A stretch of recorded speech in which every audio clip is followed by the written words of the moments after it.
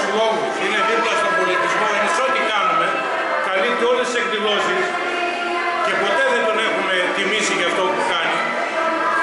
Θα μου επιτρέψετε να του παραδώσουμε το λάβαρο του ομίλου ως ένδειξη ευγνωμοσύνης και καλής θελήσεως και ευχαριστία στον Αντώνη τον Παπαδόπουλο το συμβαίνει τώρα με όλη μας την καρδιά. Ευχαριστώ και εγώ.